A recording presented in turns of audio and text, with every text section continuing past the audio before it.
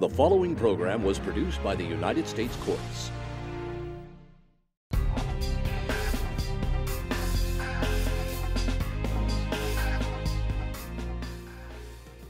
I think it's important not to let uh, either people define what your future is and who you are, or your background to define uh, who you are what you can do. The town I grew up in was a great place to be raised, but it was a tough town. I found myself uh, getting involved in several fights. Uh, as a result, appeared in court on several occasions for fighting activity. One day, it was a Saturday morning, I remember it profoundly. I was in the kitchen uh, fixing breakfast, and my father, who I had heard uh, being told by my mother the things I was doing and not doing, I guess he thought about the fact that he was out here working two jobs trying to make ends meet, and here I am causing my, uh, my mother all these problems. And he grabbed me and turned me around and he said, Let me make something clear to you. That woman back in that bedroom, that's my wife. I don't want to ever hear that you've disrespected her or said something out of your mouth that you shouldn't. And the way he was holding me and the way he said it, I realized that he meant it. So I had to make some hard choices. I had to start to get my act together, else I knew I was going to pay a dear price. I had a former football coach, and he was my history teacher. He knew I was not taking advantage of my intelligence, so one day he made me stand up, turn around and face my fellow students and read, or at least try to read. And it became very clear to them and to me that I did not read very well.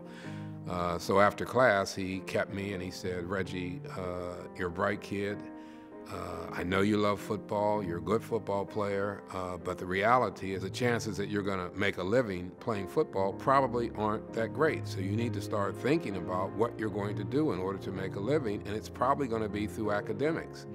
And the embarrassment of being, you know, shown to not have the ability to read very well in front of my peers, uh, and his words, I think, started me to think more about the importance of education. I uh, had gone in to talk to the guidance counselor. I told him, well, I'd like to be a, a, medical doctor. And he told me, I just don't think that's a potential that you have. You should think about going to a trade school. And my mother, uh, when I told her that, she became very irate. And she said, You're not going to a trade school, you're going to college. That gave me the appreciation that, regardless of what somebody else said to try and define who I was and what I could do, uh, that my parents, my mother and father, were going to stick behind me, and that inspired me to pursue a college degree. As a local city judge on the Superior Court, one of the assignments I enjoyed the most was working with juvenile delinquents because my background at least, me, at least gave me some insight as to why they were doing some of the things they did.